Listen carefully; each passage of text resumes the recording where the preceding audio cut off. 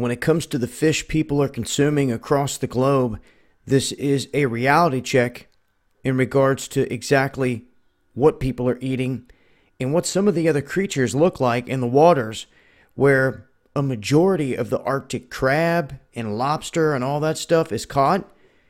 Creatures like this are popping up more and more. This was a local fisherman that says on the daily they are catching things like this that should not be, that are very weird, uh, what look to be deformed creatures, and they're saying that it's from all the nuclear waste that is in the area. Now, Murmansk, Russia, is home to 20,000 fuel rods, and that's about 333,360 cubic feet of nuclear waste. That's inside 11,000 containers that the Russian Navy has simply dumped into the Barents Sea and the Kara Sea, both of them in the Arctic Ocean. If you look at a map here, this is the very edge here. And Norway wraps all the way up and around to right here. Then you have Finland and then Sweden, which is out of frame, but this is the very tip of Russia. They're like most northeastern flank here. This city being crucial, but they've dumped in these waters and right outside Murmansk a lot of uh, this toxic stuff. You can see here's the Kara Sea, and it's in this area where they've dumped even more. So both these areas having a lot of nuclear stuff in them, and these are areas where a lot of fishing is done. Both being on the southern flank of the Arctic Ocean. Now, the Barents Sea is where a majority of the commercial fish and crabs are fished for for the world, especially Northern Europe. Uh, during the Cold War, there was up to 150 nuclear subs that were stationed in this region at any given time.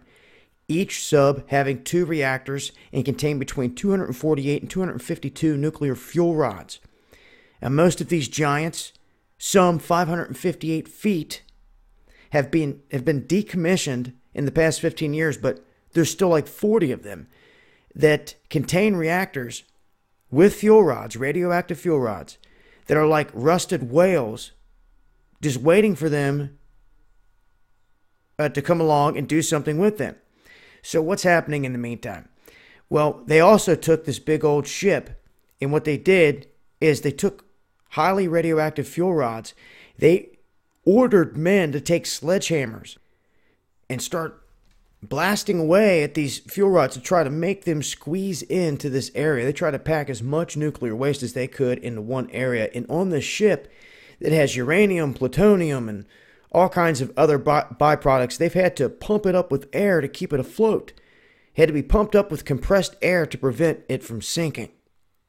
Now, despite the ship's close proximity to downtown in Murmansk, the radiation level display on an early warning panel at the city's main bus station is always reading zero.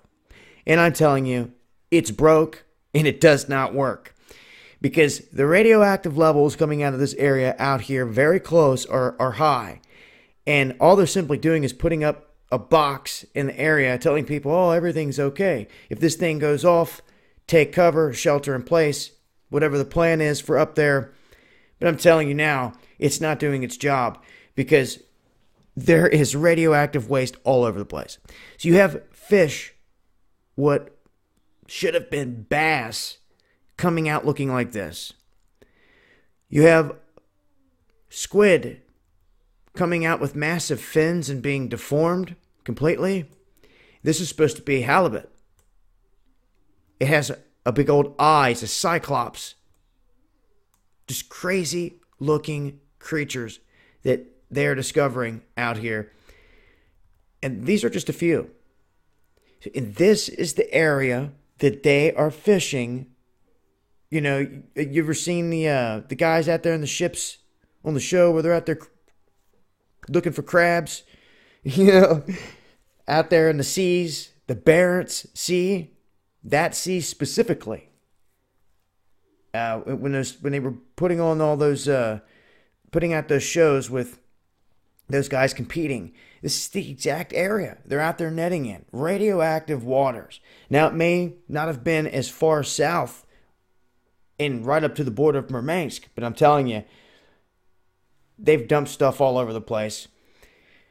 And the Kara Sea is a whole nother, whole nother chapter in, in dealing with all this. I mean, they've literally dumped this radioactive stuff all over the place. So, you know, you have this, you have the more recent uh, Fukushima that took place. And you also have Chernobyl. I mean, Russia has a history of problems with with nuclear stuff. And what do they do with it? Just dumped it in the sea for the most part. And I'm here to tell you that these are the fish they're pulling out of the area, and this is also the area that a majority of the world's fish and crab comes from, especially for Europe. Something to think about. I'll leave a link. Until next time, it's been Dahboo7. Peace.